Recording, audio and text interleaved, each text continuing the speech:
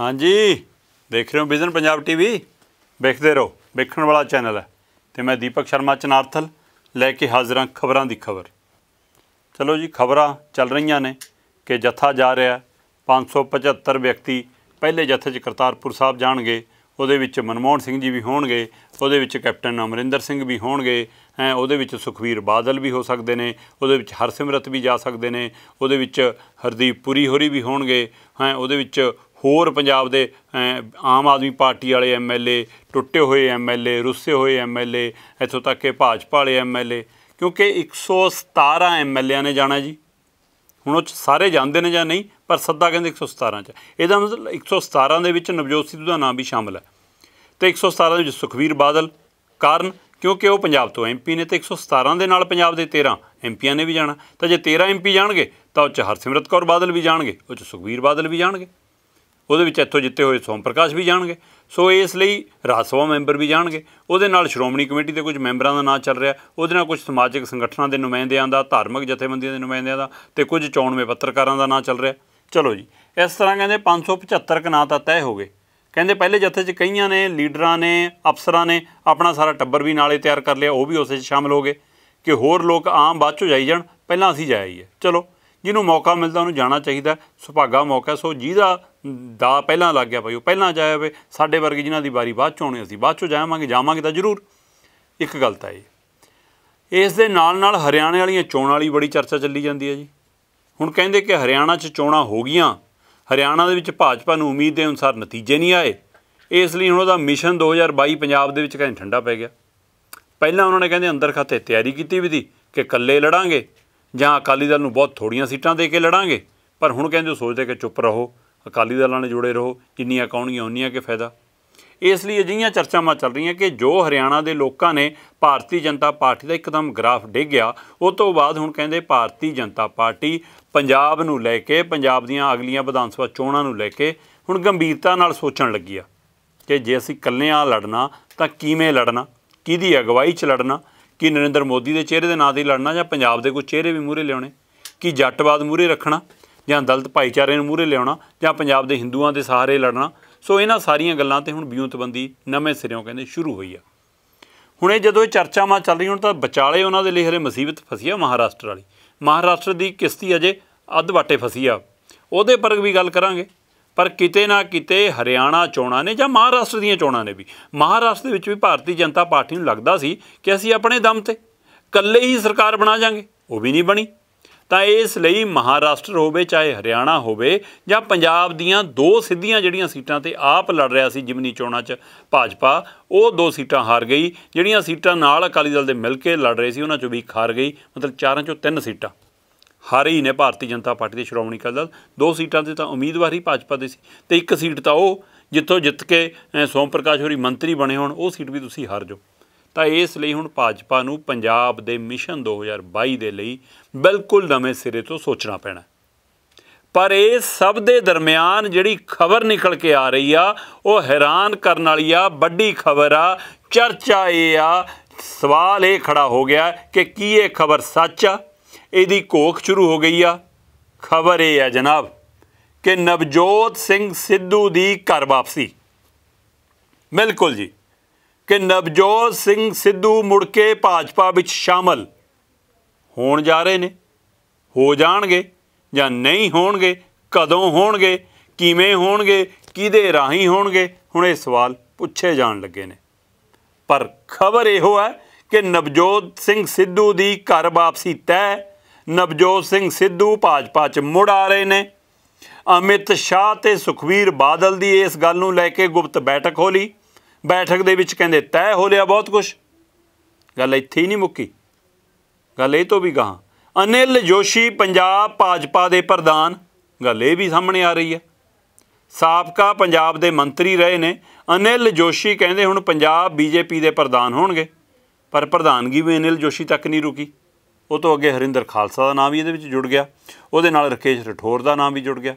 ਹੁਣ ਇਹ ਸਾਰੀਆਂ ਗੱਲਾਂ ਸਿੱਧੂ ਦੀ ਘਰ ਵਾਪਸੀ ਦੀ ਗੱਲ, ਅਮਿਤ ਸ਼ਾਹ ਤੇ ਸੁਖਵੀਰ ਦੀ ਬੈਠਕ ਦੀ ਗੱਲ, ਐ ਅਨਿਲ ਜੋਸ਼ੀ ਦੇ ਪ੍ਰਧਾਨਗੀ ਦੀ ਗੱਲ, ਰਕੇਸ਼ ਰਠੌਰ ਤੇ ਹਰਿੰਦਰ ਖਾਲਸਾ ਦੀ ਗੱਲ। ਇਹ ਮੈਂ ਨਹੀਂ ਕਰ ਰਿਹਾ ਜਨਾਬ। ਇਹ ਭਾਰਤੀ ਜਨਤਾ ਪਾਰਟੀ ਦਾ ਇੱਕ WhatsApp ਗਰੁੱਪ ਕਰ ਰਿਹਾ।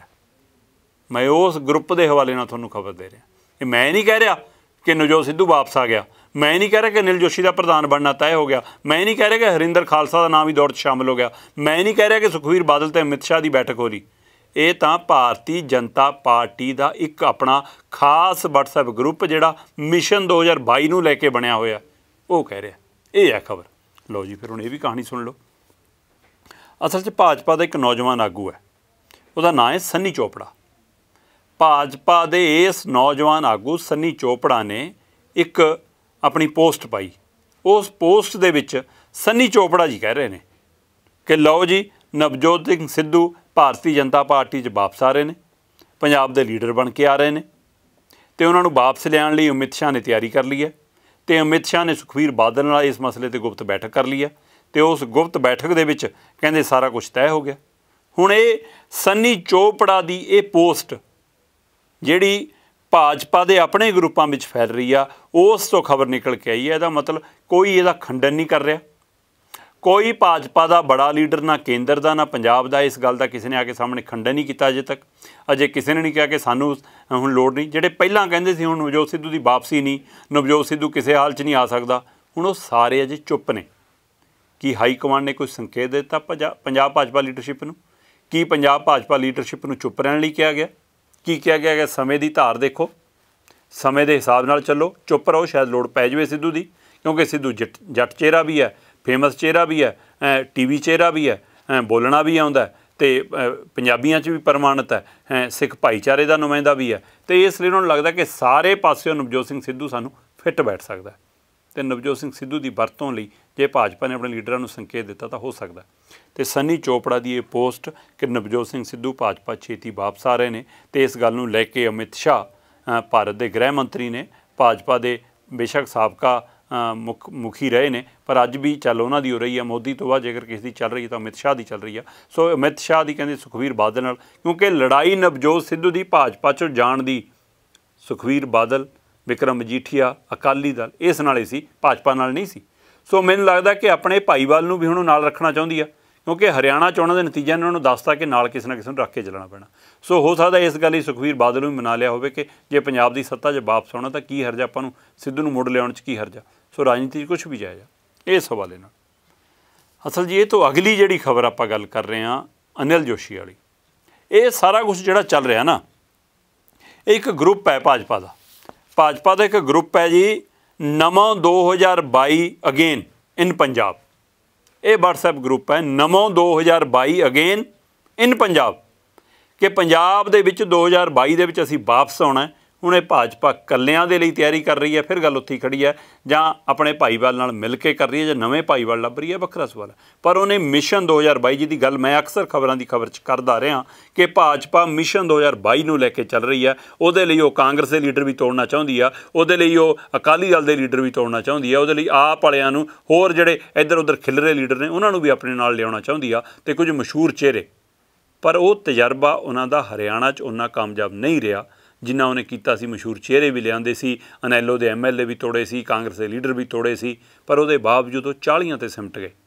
ਸੋ ਇਸ ਲਈ ਹੁਣ ਲੱਗਦਾ ਕਿ ਇੱਥੇ ਉਹ ਪੁਰਾਣੀ ਰਵਾਇਤ ਨੂੰ ਆਪਣੀ ਕਾਇਮ ਰੱਖਣਗੇ, ਅਕਾਲੀ ਦਲ ਨੂੰ ਨਾਲ ਰੱਖਣਗੇ ਤੇ ਹੋ ਸਕਦਾ ਹੈ ਬਾਕੀਆਂ ਦੇ ਵਿੱਚ ਜਿੰਨਾ ਰਲੇਵਾ ਹੁੰਦਾ ਉਹ ਨਾਲ ਕਰ ਲੈਣ ਤੇ ਉਹਦੇ ਵਿੱਚ ਨਵਜੋਤ ਸਿੱਧੂ ਦਾ ਨਾਂ, ਜਿਹੜਾ ਇਹ ਨਮੋ 2022 ਅਗੇਨ ਇਨ ਪੰਜਾਬ ਭਾਜਪਾ ਦਾ ਗਰੁੱਪ ਹੈ, ਇਹੋ ਗਰੁੱਪ ਕਹਿ ਰਿਹਾ ਕਿ ਅਨਿਲ ਜੋਸ਼ੀ ਪ੍ਰਧਾਨ ਬਣ ਗਏ ਜੀ।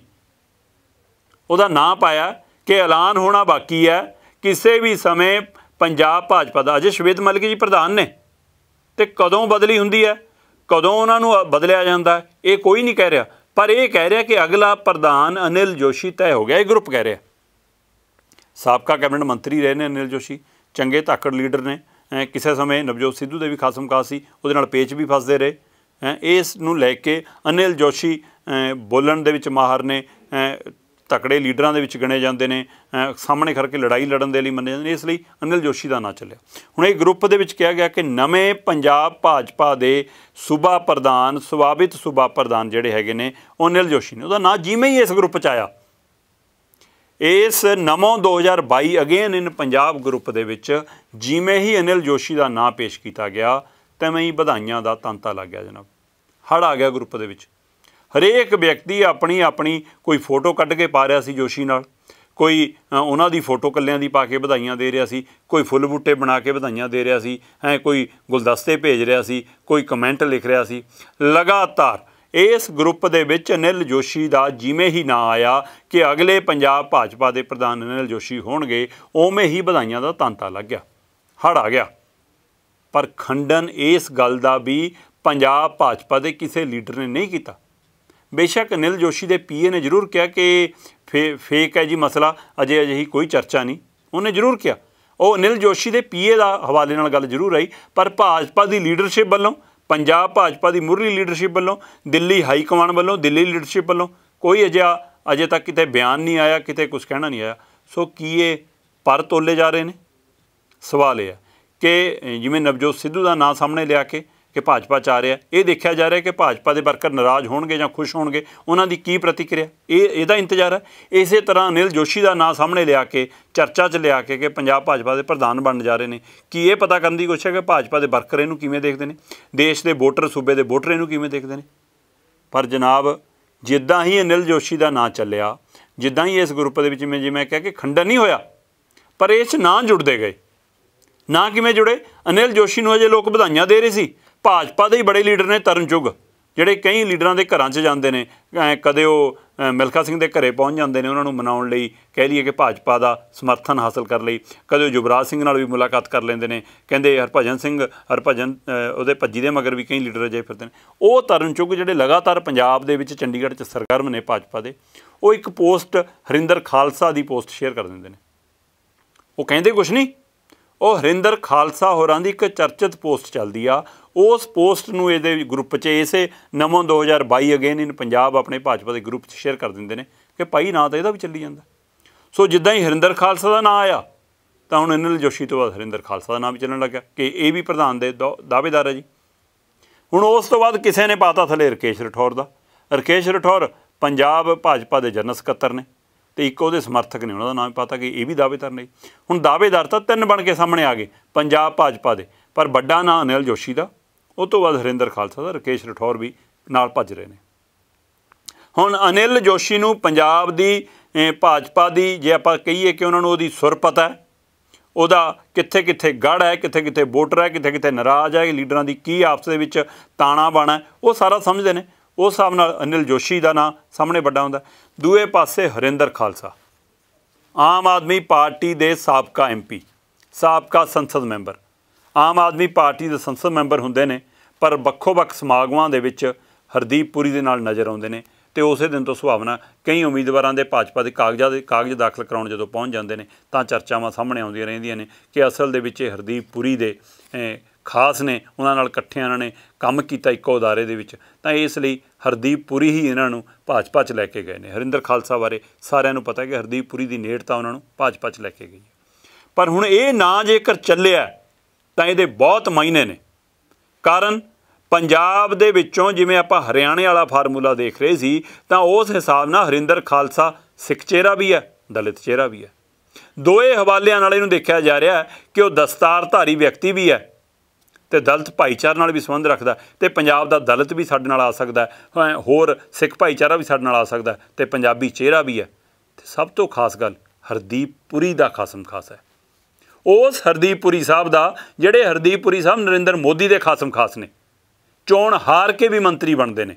ਸੋ ਇਸ ਲਈ ਹਰਦੀਪ ਪੁਰੀ ਦੇ ਖਾਸਮ ਖਾਸ ਹੋਣ ਦਾ ਫਾਇਦਾ ਹਰਿੰਦਰ ਖਾਲਸਾ ਨੂੰ ਮਿਲ ਸਕਦਾ ਪਰ ਦੌੜ ਦੇ ਵਿੱਚ ਅਨਿਲ ਜੋਸ਼ੀ ਤੇ ਹਰਿੰਦਰ ਖਾਲਸਾ ਦੋਵਾਂ ਦਾ ਨਾਮ ਹੈ। ਨਾਲ ਕਿਤੇ ਨਾ ਕਿਤੇ ਰਕੇਸ਼ ਰਠੌਰ ਦਾ ਨਾਂ ਚੱਲੀ ਜਾਂਦਾ ਪਰ ਦੇਖਦੇ ਆਂ ਬਾਜੀ ਕੌਣ ਮਾਰਦਾ ਸਿੱਧੂ ਵਾਪਸ ਭਾਜਪਾ ਚ ਆਉਂਦੇ ਨੇ ਜਾਂ ਨਹੀਂ ਜਿਹੜੀ ਇਹ ਚਰਚਾ ਇਹਨਾਂ ਦੇ ਗਰੁੱਪ ਨੇ ਛੇੜੀ ਹੈ, ਸਨੀ ਚੋਪੜਾ ਨੇ ਛੇੜੀ ਹੈ, ਇਹਦੇ ਵਿੱਚ ਕਿੰਨਾ ਕੁ ਦਮ ਹੈ, ਕਿੰਨੀ ਕੁ ਸੱਚਾਈ ਹੈ। ਆਉਂਦੇ ਦਿਨਾਂ ਦੇ ਵਿੱਚ ਮੈਨੂੰ ਲੱਗਦਾ ਇਸ 550 ਸਾਲਾ ਪ੍ਰਕਾਸ਼ ਪੁਰਬ ਤੋਂ ਬਾਅਦ ਪੰਜਾਬ ਬੀਜੇਪੀ ਦਾ ਇਹ ਵੀ ਚਿਹਰਾ ਮੋਹਰਾ ਸਾਫ਼ ਹੋਣ ਵਾਲਾ ਕਿ ਪ੍ਰਧਾਨ ਕੌਣ ਹੋਏਗਾ ਉਪ ਪ੍ਰਧਾਨ ਕੌਣ ਹੋਏਗਾ, ਪੰਜਾਬ ਦੇ ਵਿੱਚ ਸਿਆਸੀ ਅਗਵਾਈ ਕੌਣ ਕਰੇਗਾ, ਨਵਜੋਤ ਸਿੱਧੂ ਪੰਜਾਬ 'ਚ ਭਾਜਪਾ ਦਾ ਚਿਹਰਾ ਹੋਏਗਾ ਜਾਂ ਨਹੀਂ। ਸੋ ਪਰ ਖਬਰਾਂ ਨਿਕਲ ਕੇ ਆ ਰਹੀਆਂ ਕਿ ਭਾਜਪਾ ਦੇ ਵਿੱਚ ਸਿੱਧੂ ਦੀ ਵਾਪਸੀ ਦੀ ਤਿਆਰੀ, ਅਨਿਲ ਜੋਸ਼ੀ ਨੂੰ ਪ੍ਰਧਾਨ ਬਣਾਉਣ ਦੀ ਤਿਆਰੀ, ਹਰਿੰਦਰ ਖਾਲਸਾ ਵੀ ਦੌੜ ਵਿੱਚ, ਇਸ ਲਈ ਮੈਂ ਖਬਰਾਂ ਇਸ ਹਵਾਲੇ ਨਾਲ ਤੁਹਾਨੂੰ ਦੱਸਣਾ ਚਾਹੁੰਦਾ ਸੀ, ਪਰ ਖਬਰ ਹੋਰ ਵੀ ਖਾਸ ਹੈ। ਮਹਾਰਾਸ਼ਟਰ ਦੇ ਹਵਾਲੇ ਨਾਲ ਇੱਕ ਅੰਦਰ ਦੀ ਖਬਰ ਤੁਹਾਨੂੰ ਦੱਸਾਂਗਾ, ਪਰ ਸਮਾਂ ਇੱਕ ਛੋਟੀ ਜਿਹੀ ਬ੍ਰੇਕ ਦਾ। ਹੁਣੇ ਗਿਆ ਤੇ ਹੁਣੇ ਪਰਤਿਆ। ਤੁਸੀਂ ਵੇਖਦੇ ਰਹੋ Vision, Punjab TV.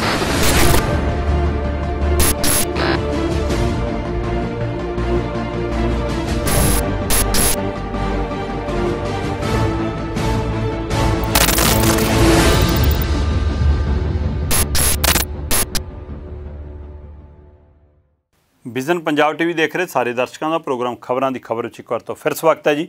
ਜਿਵੇਂ ਕਿ ਆਪਾਂ ਪਹਿਲਾਂ ਗੱਲ ਕਰ ਰਹੇ ਸੀ ਕਿ ਵੱਡੀਆਂ ਖਬਰਾਂ ਨਿਕਲ ਕੇ ਆ ਰਹੀਆਂ ਕਿ ਨਵਜੋਤ ਸਿੱਧੂ ਦੀ ਘਰ ਵਾਪਸੀ ਤੈਅ। ਨਵਜੋਤ ਸਿੰਘ ਸਿੱਧੂ ਭਾਜਪਾ ਵਿੱਚ ਵਾਪਸ ਆ ਰਹੇ ਨੇ ਤੇ ਅਮਿਤ ਸ਼ਾਹ ਦੀ ਇਸ ਗੱਲ ਨੂੰ ਲੈ ਕੇ ਸੁਖਬੀਰ ਬਾਦਲ ਨਾਲ ਬੈਠਕ ਵੀ ਹੋਲੀ ਇਹ ਭਾਜਪਾ ਦੇ ਇੱਕ ਗਰੁੱਪ ਦੇ ਵਿੱਚ ਸੰਨੀ ਚੋਪੜਾ ਭਾਜਪਾ ਦਾ ਇੱਕ ਨੌਜਵਾਨ ਲੀਡਰ ਹੈ। ਉਹ ਗਰ- ਇਹ ਗੱਲ ਸ਼ੇਅਰ ਕਰ ਰਿਹਾ।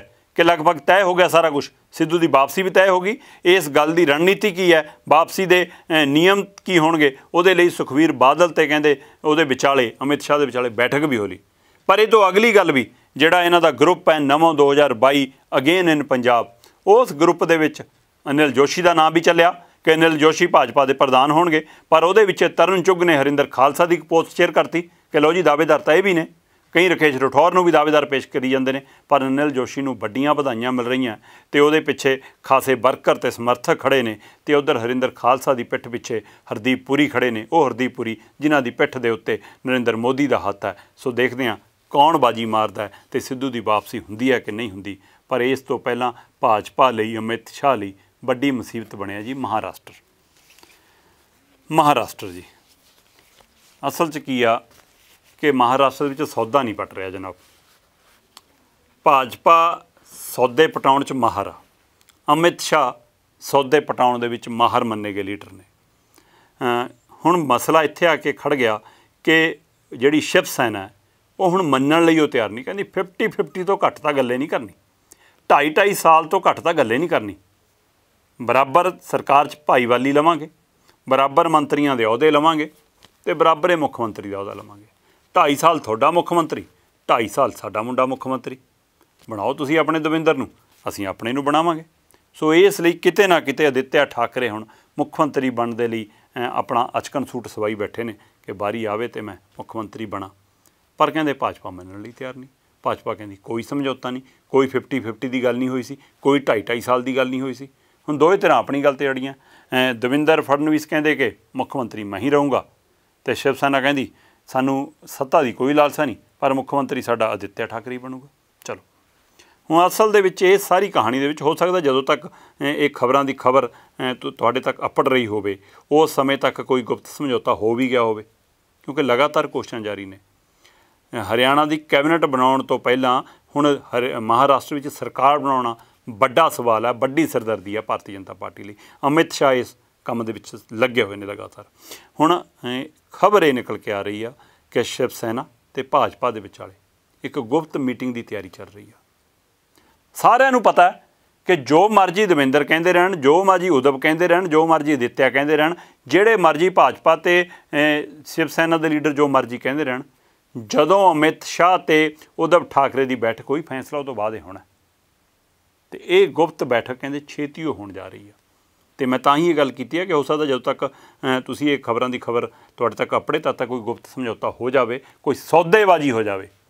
ਮਸਲਾ ਸੌਦੇਬਾਜ਼ੀ ਦਾ ਜਨਾਬ। ਅਸਲ ਦੇ ਵਿੱਚ ਕੀ ਆ ਕਿ ਉੱਥੇ ਹੁਣ ਸ਼ਿਵ ਸੈਨਾ ਇਸ ਸਥਿਤੀ ਦੇ ਵਿੱਚ ਆ ਕਿ ਇਹ ਤੋਂ ਬਿਨਾ ਭਾਜਪਾ ਸਰਕਾਰ ਨਹੀਂ ਬਣਾ ਸਕਦੀ। ਭਾਜਪਾ ਨੇ ਹਰਿਆਣਾ ਵਾਲਾ ਦਾ ਉੱਥੇ ਵੀ ਖੇਡਿਆ ਸੀ। ਭਾਜਪਾ ਨੂੰ ਲੱਗਿਆ ਸੀ ਕਿ ਮਹਾਰਾਸ਼ਟਰ ਵਿੱਚ ਵੀ ਅਸੀਂ ਇਕੱਲੇ ਇੰਨੀਆਂ ਸੀਟਾਂ ਲੈ ਜਾਾਂਗੇ ਕਿ ਆਪਣੇ ਆਪ ਸਰਕਾਰ ਬਣਾਉਣਗੇ ਜਿਹਨੇ ਮਗਰ ਆਉਣਾ ਆਈ ਜਾਣ, ਨਹੀਂ ਸਾਨੂੰ ਲੋੜ ਨਹੀਂ।